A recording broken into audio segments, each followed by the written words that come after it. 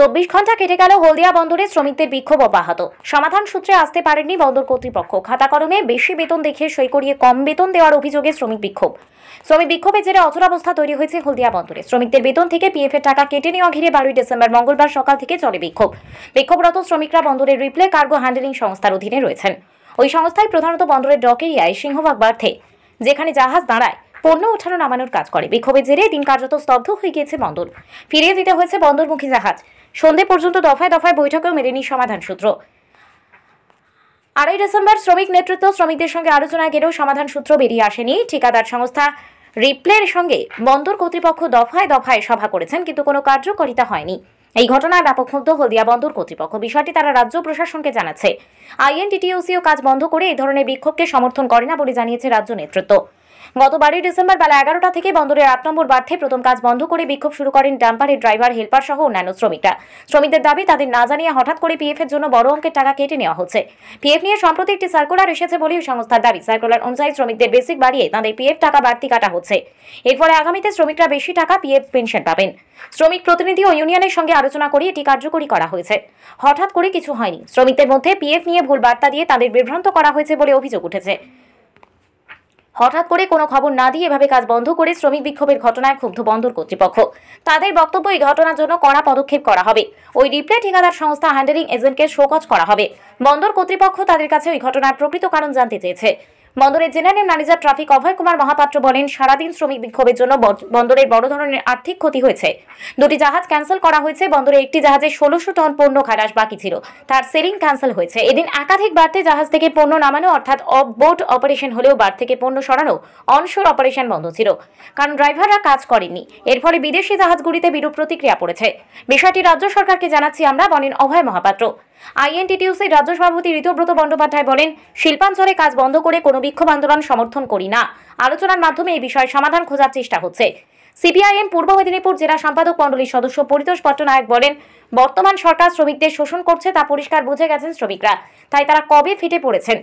তৃণমূল জেলা সভাপতি আজগর আলী বলেন, কাজ বন্ধ রেখে এই ধরনের ঘটনার কখনোই দল মেনে নেবে না। তবে যারা দলের দায়িত্বে রয়েছেন, তারা নিশ্চয়ই এই বিষয় নিয়ে আলাপ আলোচনা করে খুব শীঘ্রই কাজ শুরু করা হবে বলে তিনি জানালেন। হলদিয়া, কলকাতা ডক্টর শ্যামাপ্রসাদ মুখার্জি পোর্ট সাধারণ সম্পাদক ভারতীয় মজদুর সংঘ এবং রাজ্য সহ সভাপতি প্রদীপ বিজলি বলেন, শ্রমিকদের না জানিয়ে বেসিক টাকা বাড়িয়ে পিএফ এর টাকা বেশি করে কাটা হচ্ছে, কিন্তু বেসিক অনুযায়ী তাদের বেতন দিচ্ছে না ঠিকাদার সংস্থা। শ্রমিকদের দাবি বেসিক অনুযায়ী তাদের বেতন দেওয়া হোক। ঠিকাদার সংস্থার হঠকারী সিদ্ধান্তের জন্যই দিনভর কাজ বন্ধ রেখে শ্রমিকরা বিক্ষোভ দেখানেন প্রদীপ বিজলি বলেন, শ্রমিকদের না জানিয়ে এই ধরনের সিদ্ধান্ত নিতে পারেন না রিপ্লে ঠিকাদার সংস্থা।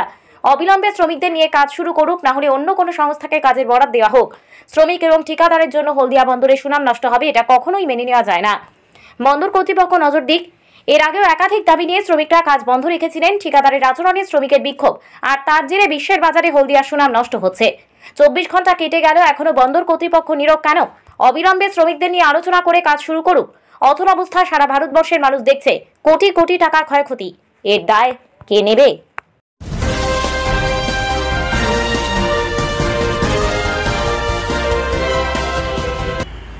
আমরা সবসময় চাইব বন্দরে কাজ স্বাভাবিক থাকুক। কিন্তু কালের ইন্ধনে এই জিনিসগুলো হচ্ছে, কিছু কিছু জিনিস আমরা উপলব্ধি করতে পারছি।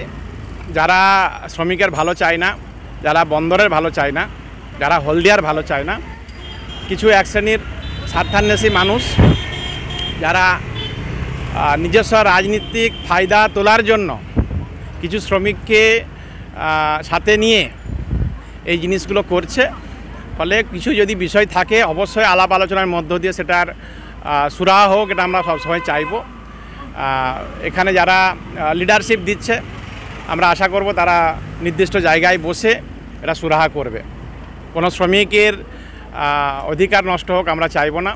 যদি কোনো বিষয় থাকে আমি ইন ডিটেলস আমার বিষয়টা জানা নেই। তবে কাল থেকে কাজ বন্ধ এখনও পর্যন্ত। কাজ বন্ধ আছে পোর্ট অথরিটি ভালো জবাব দিতে পারবে। পোর্টের আন্ডারে কাজ করছে, তাদের টেন্ডারে কি ছিল, কারা কাজ পেয়েছে, কি সিস্টেমে কাজ হচ্ছে, কি কন্ডিশনে কাজ হচ্ছে, এটা দেখার দায়িত্ব পোর্টের ছিল।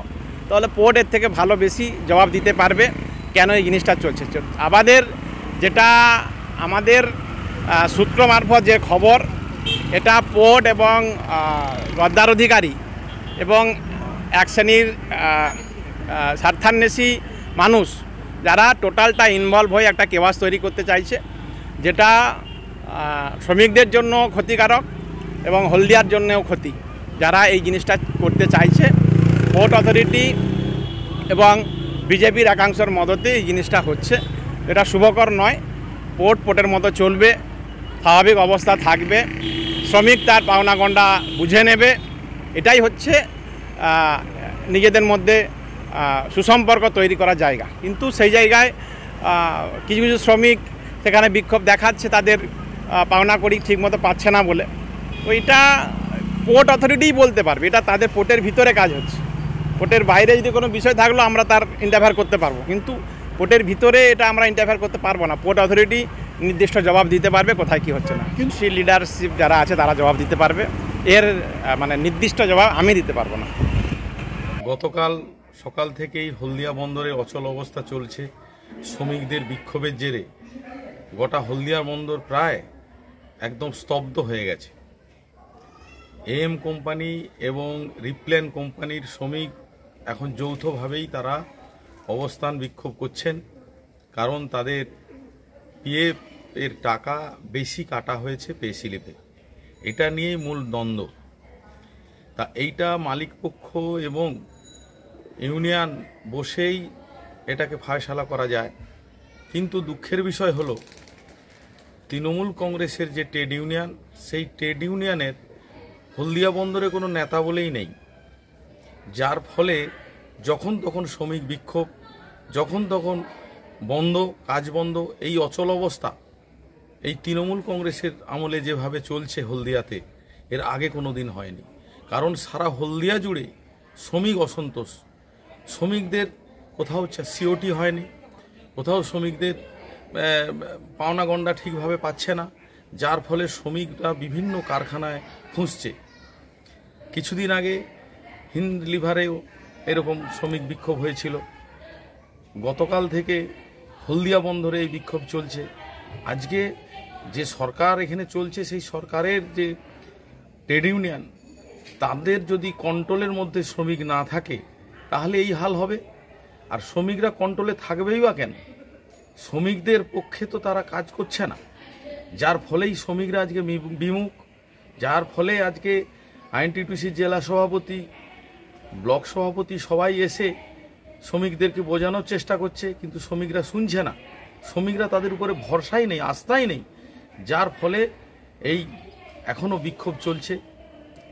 আমি আরেকবার অনুরোধ করব কারখানার কোম্পানির পক্ষে যেনারা আছেন এখানে আধিকারিক এবং হলদিয়া বন্দরের আধিকারিক এবং শ্রমিক পক্ষ, সবাই বসে যত দ্রুত সম্ভব এই জটিলতাটাকে ক্লিয়ার করুন, হলদিয়া বন্দরের সুনাম ফিরিয়ে আনুন, নাহলে হলদিয়া বন্দরের এই সুনাম বজায় থাকবে না। নমস্কার।